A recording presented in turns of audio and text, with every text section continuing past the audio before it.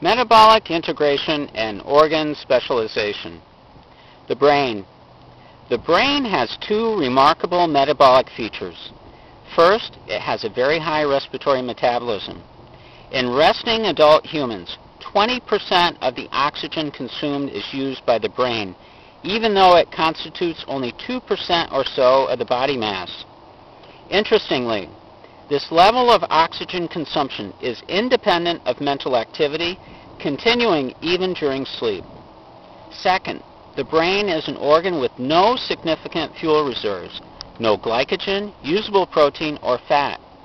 Normally, the brain uses only glucose as a fuel and is totally dependent on the blood for a continuous incoming supply.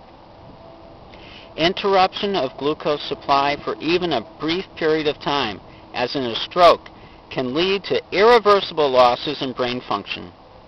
The brain uses glucose to carry out ATP synthesis via cellular respiration. High rates of ATP production are necessary to power the plasma membrane sodium potassium ATPase so that the membrane potential essential for transmission of nerve impulses is maintained. During prolonged fasting or starvation, the body's glycogen reserves are depleted.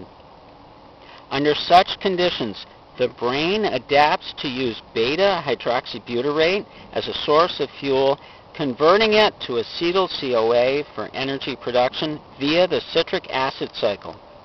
Beta-hydroxybutyrate is formed from fatty acids in the liver. Although the brain cannot use free fatty acids or lipids directly from the blood as fuel, the conversion of these substances to beta-hydroxybutyrate in the liver allows the brain to use body fat as a source of energy. The brain's other potential source for, of fuel during starvation is glucose obtained from gluconeogenesis in the liver.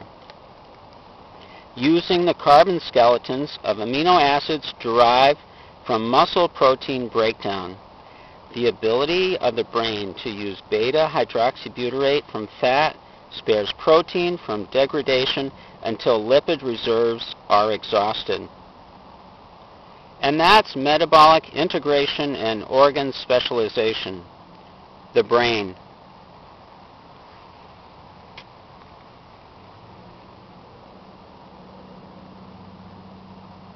Have a great day.